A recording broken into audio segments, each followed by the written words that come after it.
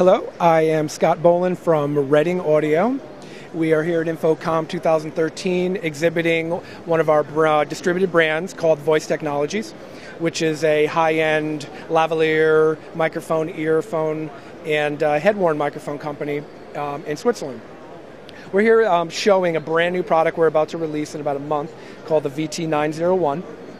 And the 901 is a, uh, an ear hanger microphone, so it's a head worn mic that just fits on one ear. It's an omnidirectional mic, high quality sound, and uh, it has this little wire loop that fits around the ear so it'll fit any ear really comfortable and not move.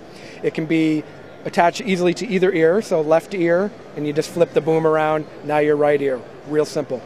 The um, cable is removable, so it has a little screw on cable, and you, that can be terminated to any wireless from Shure, Sennheiser, Electrosonics, what have you.